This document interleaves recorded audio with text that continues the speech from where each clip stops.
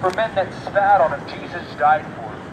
For you, for me, who could care less about Jesus Christ. He died for us because we all have sinned. And we know that God exists. So when we hear the truth, we know it's true. We know the truth. We just have a choice to receive it or reject it. What will you do with the truth of Jesus Christ that you know to be true? You know that God exists. Will you receive Jesus Christ as your Savior, or will you remain in your sin and in your unreasoning, rejecting the God of reason? Because without God, you couldn't know anything. See, God came to save you from your sins Oh, yeah? and from your reasoning. That's See, God loves your soul. He bled and died for your soul. What will you do with Jesus Christ? What will you do with Jesus? He is the Savior of sinners. There is no other Savior. There is no other way to God. I can't save you. Buddha can't save you. Muhammad can't save you. Your baptism does not take you to heaven. Being a good person does not take away your sin. God gave Jesus Christ so he could be a payment for our sins because in him is no sin. He never sinned. And only one without sin could die for the sins of others. That's Jesus Christ. Greater love hath no man than this, but that a man lay down his life for his friends. And Jesus Christ didn't just lay down his life for people that liked him. He died for the men that hated him. That's the great love of God. Amen. Hereby we the love of God, that he laid down his life for us. God laid down his life for you. That's the great love of God. That he himself would come and die for, for man, for sinful men. That he gave a free will to choose to sin or not to sin. And we choose sin over God every time. We choose sin. And God came and died for men that choose sin over him so that they could be saved from the sin that destroys them. What will you do with the life Jesus Christ? Jesus said, I am the way, the truth, and the life, and no man cometh unto the Father but by me. Jesus is the only way to God. You're not going to get to God any other way. You're not going to get to God. I'm not going to get to God just because I got wet in a baptistry. I'm not going to get to God. No one's going to get to God because they did a bunch of good things and they helped their neighbor. The only way anybody is going to get to God is through the blood of Jesus Christ. How that Christ died for our sins, according to the Scriptures. And that he was buried, and that he rose again the third day, according to the Scriptures. You know what I can't understand is people say, well, I'm going to heaven just because God loves me. Well, yeah, God loves you, but that doesn't mean you're going to heaven. Because God loves everybody, and everybody's not going to heaven. And if God loves you, God's always loved you. But Jesus Christ had to bleed and die because God's love for you doesn't just save you. He had to display his love and, and enact his love through the cross of Christ.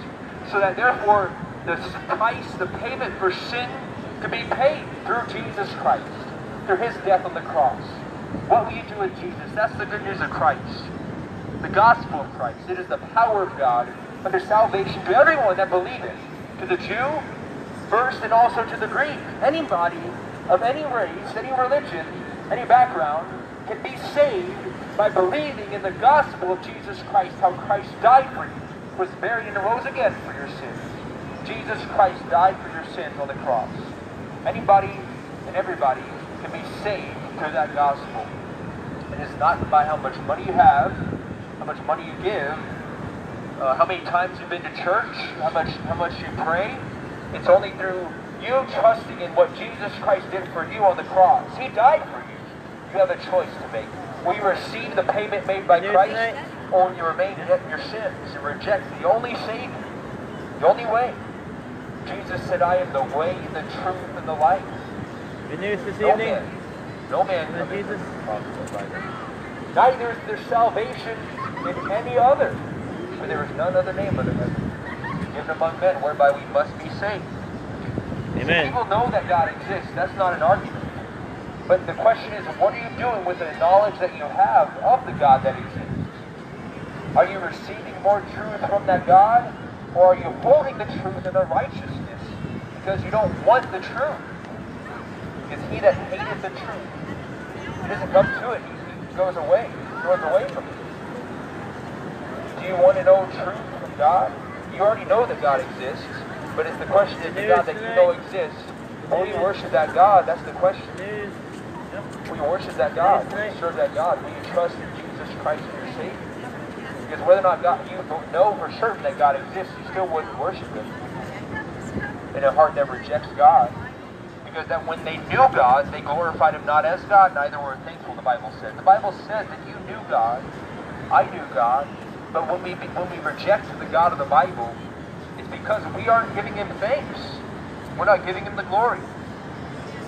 We become, we become vain in our imaginations, and our foolish hearts are darkened when we reject the God that we know exists. And that God that you know exists, He came to this earth and died for your soul, so your soul can be saved from sin and from invalid reasoning, friend. You need to trust in Jesus Christ, the God that gave you the ability to use logic and reasoning. How do you reason out of that position?